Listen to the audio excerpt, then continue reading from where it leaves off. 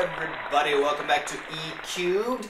Today's expression is another interesting word. It's an adjective. Token. T-O-K-E-N. A token something. A token something. Hmm. So, in this case, the word token means typical. Stereotypical. A token Oxford teacher. If you think about Oxford University or Harvard University, what is your image of the professor? Is he wearing blue jeans? Probably not. He's probably wearing an old suit. Maybe tweed. T-W-E-E-D. Probably has a mustache or a beard, maybe even some long hair. Not too long, but a little bit long. He speaks a little bit slowly, very intelligent, and rather boring. He prefers reading to teaching. Research is his perfect area. So if you see someone like this guy,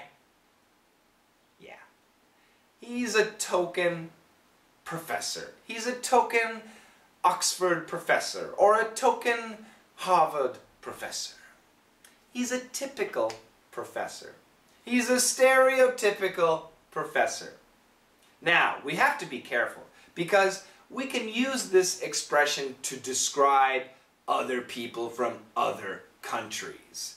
And sometimes these stereotypes are not very nice. So, let's check out the dialogue first, and then I have an assignment for you. That guy is really fat. And look at him eating that hot dog. He's a token American. We really need to change our diet. Yeah, a token American, the token American diet, hamburgers, french fries, and Coca-Cola. Token, token American, a little bit fat, or maybe very fat, yeah. Not every American, of course not. But that would be the token American meal, or the token American. It's true. Not all, but in general. It's a stereotype. So, what about in your country? Let's say you live in France. What is the token Frenchman? Or if you live in China, what is the token Chinese person, man, woman, whatever? What is this token image, this stereotype of a person in your country? Do not talk about people in other countries because that's dangerous, okay? It's nice, it's fun, it's easy to talk about your country and your country's people, but it's not nice sometimes.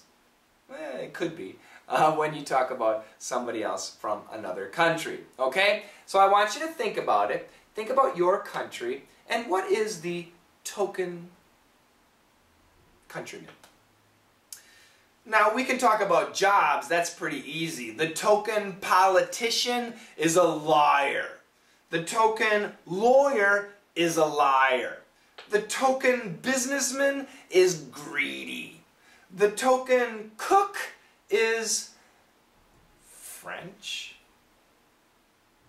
Wears a little white hat, curly, I don't know, I don't know. So we can talk about jobs, that's easy. But your assignment is to describe the token Irishman, if you're from Ireland, or the token German, if you're from Germany, the token Russian, if you're from Russia. And you can have it as the token Russian man or the token Russian woman, the token Korean man, the token Korean woman, the token 40-year-old Korean man.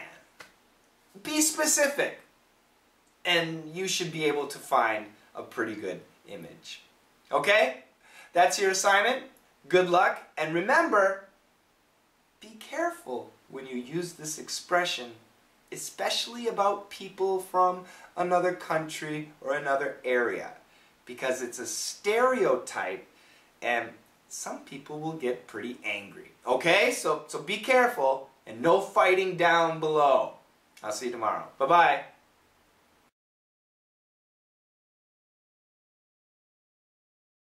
That guy is really fat. And look at him eating that hot dog. He's a token American. We really need to change our diet.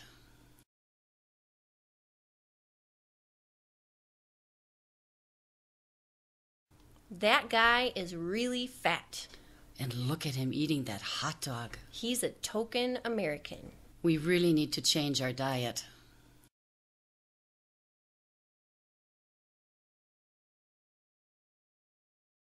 That guy is really fat. And look at him eating that hot dog. He's a token American. We really need to change our diet.